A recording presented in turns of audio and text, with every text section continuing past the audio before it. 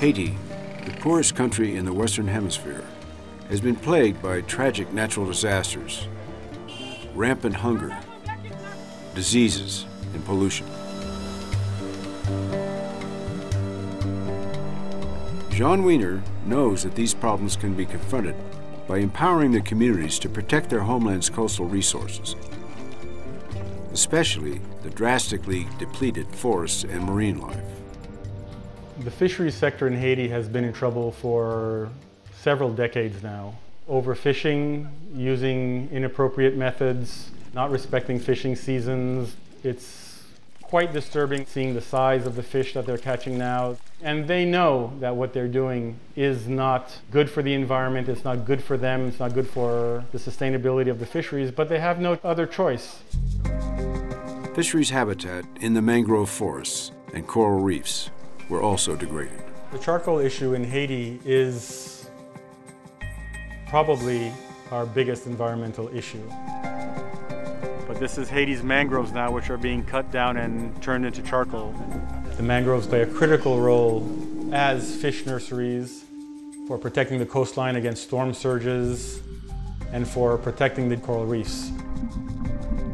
More than 20 years ago, Wiener and his organization, the Foundation for the Protection of Marine Biodiversity, set out to establish Haiti's first marine protected area to safeguard the mangroves, the coral reefs, and the fisheries.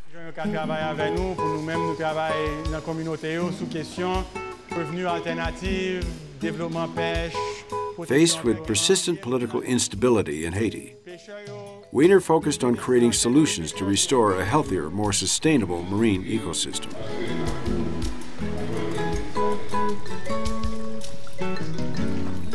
The group planted more than a million trees. Their education program emphasizes the critical need to protect the plants from being cut down for charcoal. This is part of our educational activities with the local community to make sure that they feel a sense of pride that they planted these trees and that they will hopefully defend them from people who might want to cut them down. Wiener also launched efforts to restore degraded coral reefs, another key habitat for fish. We're trying to grow some of these corals, which are important for fisheries, just to give Mother Nature a helping hand. It's grown to five times of what it was when we started in about a year. So it's critically important to help manage these resources.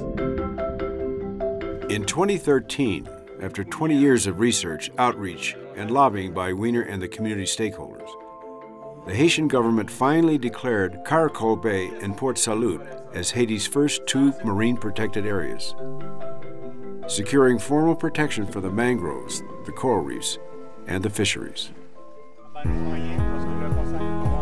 When I brought my children out here, they just felt a, a, tremendous sense of pride in knowing that their father had helped establish this protected area for Haiti. But more importantly, I think at their age, they just thought it was something really cool.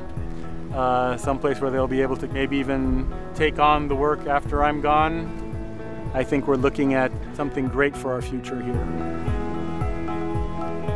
For outstanding environmental achievement for islands and island nations, the 2015 Goldman Environmental Prize is awarded to Jean Wiener, Cap Haitian, Haiti.